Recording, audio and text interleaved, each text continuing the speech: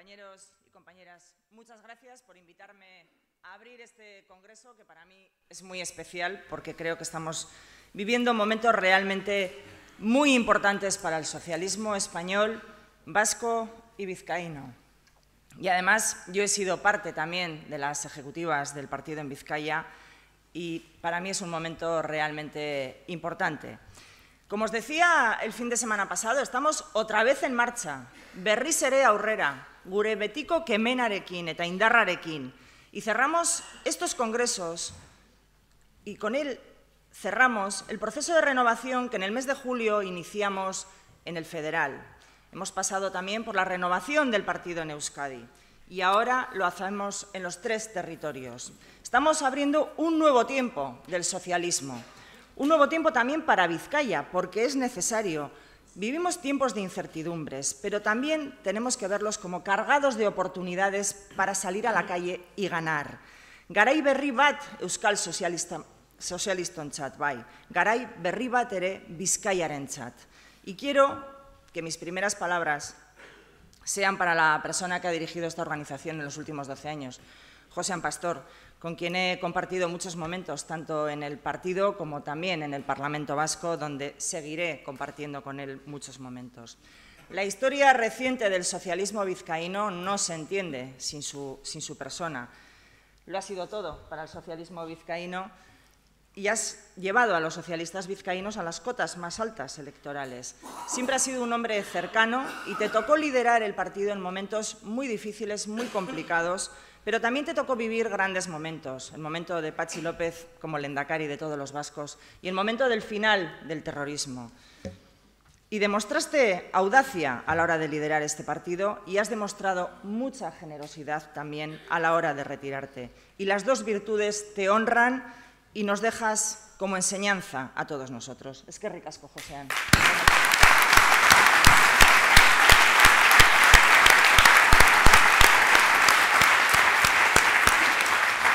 Y quería agradecer también a Miquel, nuestro nuevo secretario general de Vizcaya, y a Iñaki Gaña, que no le veo por ahí, ¿por dónde está? Ahí, Iñaki, la lealtad y la responsabilidad con la que habéis llevado a cabo esta campaña para liderar este partido algo nuevo para nosotros, la participación de todos los militantes y habéis sido capaces de llevar una campaña donde ha habido debate de ideas, debate de proyectos y todo sin una mala palabra, sin un mal gesto. Quiero de verdad agradeceroslo.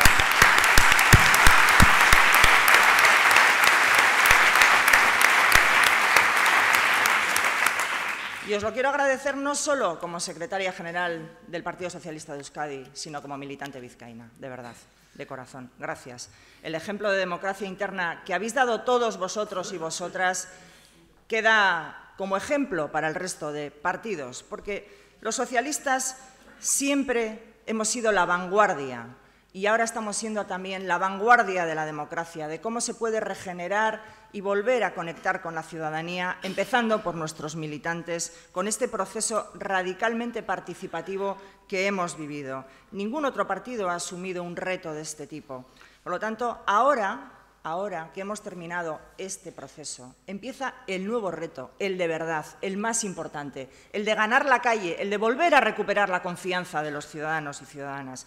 Y ahora toca ponerse a trabajar y ponerse a trabajar unidos todos, detrás de un mismo proyecto. Porque Vizcaya necesita librarse de los jaunchos que nos gobiernan desde hace 35 años. Ya vale de ese ese modo de gobernar que tiene el Partido Nacionalista Vasco en Vizcaya, que cree que es su casa, su choco. No puede ser, tenemos que pararles porque nosotros tenemos un proyecto para el país y tenemos un proyecto para Vizcaya. Tenemos que hacer que la nueva organización sea más útil y más cercana para ganarnos la confianza, para recuperar las agrupaciones como puerta de entrada de los ciudadanos.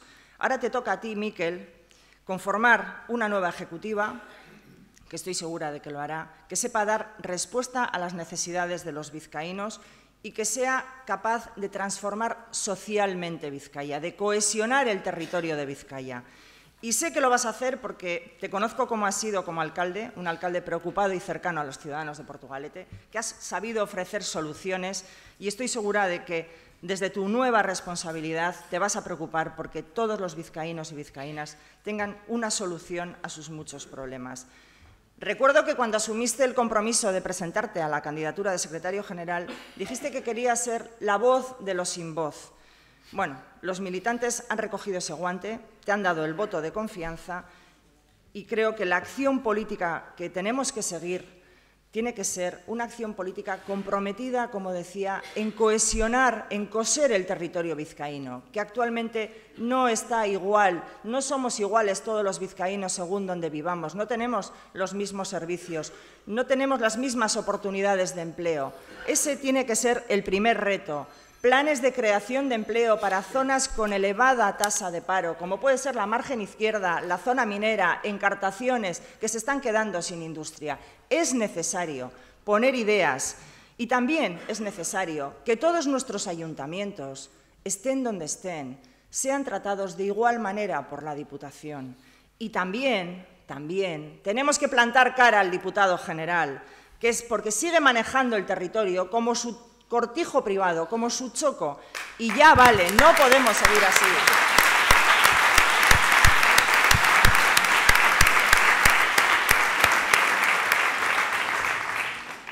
Alderdi irekiago eta gardenago bat eraikitzeko lana dugu aurretik. Gizartearekin lotura sendoagoak behar dituen alderdia eraiki behar dugu.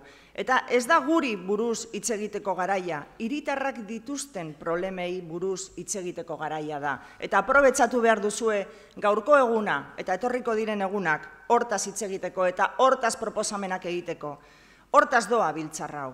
Alderdi sozialista bizi eta indartzu bat behar dugu, eta denok batera lan egin behar dugu, proiektu baten atzean, Mikelen atzean. Tengo una certeza. Cuando los socialistas estamos bien, al país le va bien. Y los socialistas nunca somos tan fuertes como cuando nos dirigimos con un proyecto para todos los ciudadanos y ciudadanas, en este caso, para todos los vizcaínos y vizcaínas, vivan donde vivan. Cuando ofrecemos una promesa global de igualdad, de libertad, al conjunto. Y esta debe ser nuestra tarea ahora, en Vizcaya, y también en el conjunto de Euskadi. Este jueves ya sabéis, tuvimos pleno de política general. Y allí le recordé al Endacari que está gobernando en minoría. Está gobernando en minoría por decisión propia, por decisión del Partido Nacionalista Vasco. Quiso hacer un primer proyecto de gobierno que hiciera recortes en el país. Y nosotros se lo impedimos.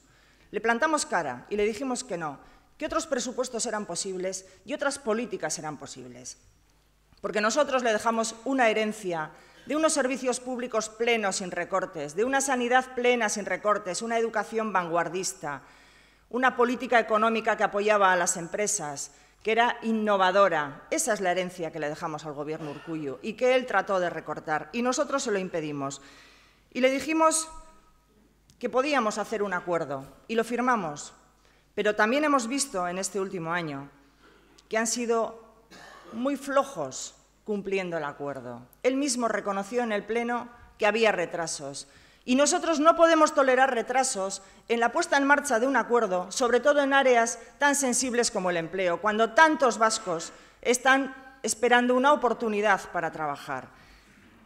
Y le dije también que los socialistas nos comprometimos, cumplimos nuestra parte del acuerdo, le dimos las herramientas para que no hubiera recortes, le dimos las herramientas fiscales y firmamos ese acuerdo y lo cumplimos.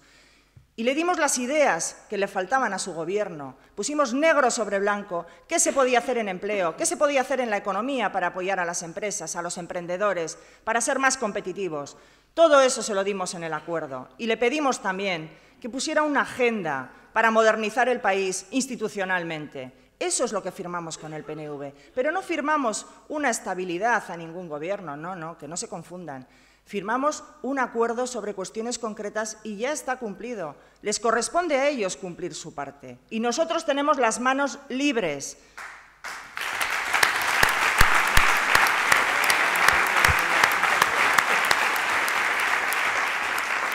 Y nosotros siempre hemos estado en los acuerdos que han hecho país. Claro que sí desde el principio. Estuvimos en el Estatuto del 36, estuvimos en el Estatuto del 79, aquí tenemos a Chiqui Venegas, y estaremos en todos los acuerdos que construyan país, pero siempre que sea en beneficio de la ciudadanía vasca. Y, por lo tanto, le corresponde al Gobierno decidir si quiere buscar acuerdos o no. Y para ello tiene que empezar cumpliendo el acuerdo firmado y haciendo unos presupuestos que no sean unos presupuestos de resignación, porque no nos puede poner el déficit como excusa. No estamos para conformarnos. El país no puede conformarse, porque además nosotros sabemos que el autogobierno vasco nos da las herramientas necesarias para hacer políticas de crecimiento. Y ahora es la hora de los valientes. Es hora, a la hora de hacer políticas, de mirar al país y no de mirar a quién beneficia, si beneficia al partido este o al otro. No, no, no. Nosotros hacemos políticas para los ciudadanos, pensando en los ciudadanos, en buscar soluciones a los ciudadanos. Y entonces, o el señor Urcullo se espabila y se pone a trabajar, o volverá a la soledad en la que eligió gobernar este país. Sozialistan zeregina ez da urkulluren gobernua sostengua izatea, hiritarren arazoa konpontzea baizik, eta urkullu gobernua ez bada, behingoz, lanean jartzen. Berarekin ditugun akordioak berrikusi behar izango ditugu. Y sí, nos hará falta audacia, credibilidad, nuevas formas y nuevas actitudes a la hora de establecer nuestra relación con el ciudadano y de desarrollar las políticas. Este es el partido de los mineros explotados, que se lo jugaron todo porque no poseían nada. Es el partido de los que lucharon contra el levantamiento fascista, el partido de los que lucharon contra el terrorismo, de los que se negaron en silencio a, soportar la dictadura de los terroristas. Ser socialista es no conformarse con lo que viene dado. Ser socialista es rebelarse ante la adversidad. Yo es lo que os pido, que no os conforméis, que os rebeléis contra la situación que se vive ahora mismo, que apostéis por poner ideas encima de la mesa, por militar decididamente. Todos sois necesarios, todos sois clave. Esta es una aventura de todos.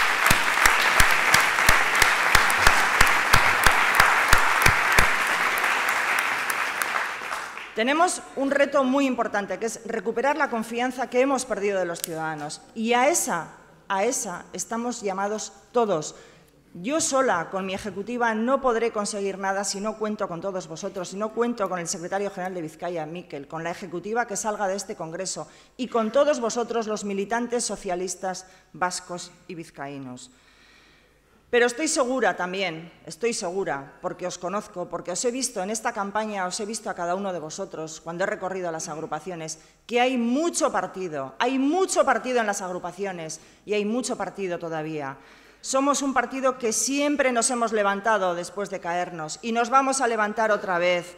Sé que no va a depender de otros partidos el que solucionemos los problemas de desigualdad que se han instalado entre nosotros. Somos nosotros los únicos que podemos ofrecer respuestas para acabar con la desigualdad que se ha instalado entre nosotros, para dar soluciones reales a los problemas de la gente, no ensoñaciones, no promesas que no se puedan cumplir. No hay que engañar a la gente. Somos el partido que tiene la propuesta más reformadora, más innovadora para sacar adelante este país. Somos un partido socialista renovado y renovador, que vamos a ser capaces de ofrecer soluciones a los ciudadanos, porque hemos sido los responsables de las grandes conquistas del estado de bienestar, aquí en Euskadi también. Nosotros, detrás de cada propuesta social, hay un socialista. Por lo tanto, aquí hay un partido vivo, con ganas de trabajar, lleno de, gente comprometida, valiente y militante, y con ello yo estoy segura de que vamos a ser capaces de volver a conseguir gobernar muchos ayuntamientos y volver a ocupar el puesto que el Partido Socialista tiene que ocupar en la política vizcaína y vasca. Ánimo, compañeros, buen congreso.